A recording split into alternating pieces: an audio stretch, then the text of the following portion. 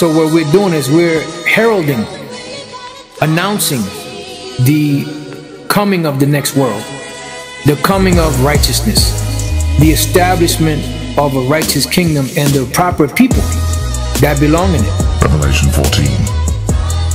And I looked, and lo, a lamb stood on the Mount Zion, and with him an hundred forty and four thousand, having his father's name written in their foreheads.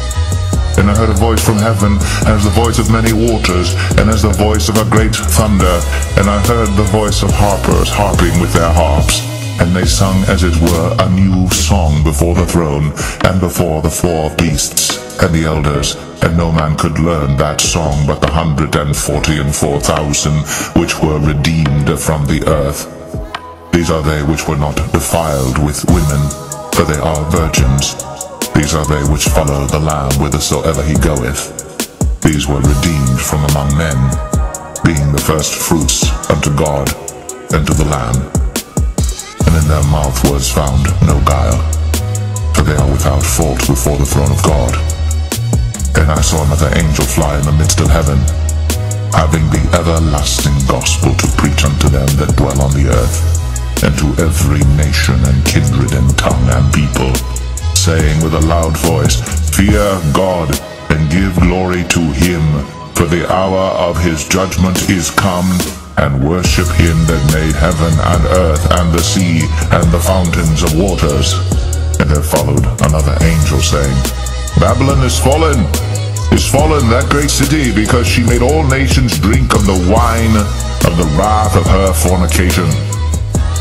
And the third angel followed them, saying with a loud voice, if any man worship the beast and his image and receive his mark in his forehead or in his hand, the same shall drink of the wine of the wrath of God which is poured out without mixture into the cup of his indignation, and he shall be tormented with fire and brimstone in the presence of the holy angels and in the presence of the Lamb.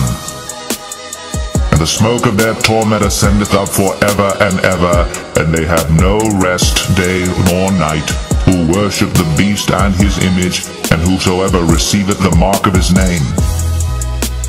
Here is the patience of the saints. Here are they that keep the commandments of God, and the faith of Yo, shut.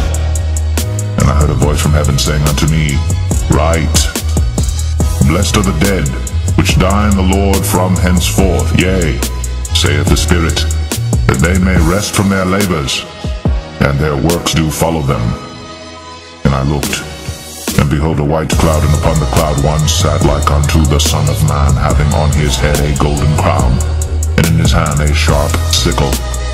And another angel came out of the temple, crying with a loud voice to him that sat on the cloud, Thrust in thy sickle and reap, for the time is come for thee to reap, for the harvest of the earth is ripe.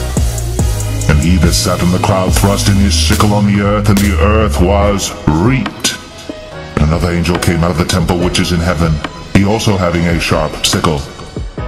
And another angel came out from the altar which had power over fire, and cried with a loud cry to him that had the sharp sickle, saying, Thrust in thy sharp sickle, and gather the clusters of the vine of the earth, for her grapes are fully ripe. And the angel thrust in his sickle into the earth, and gathered the vine of the earth, and cast it into the great winepress of the wrath of God. And the winepress was trodden without the city, and blood came out of the winepress, even unto the horse bridles, by the space of a thousand and six hundred furlongs.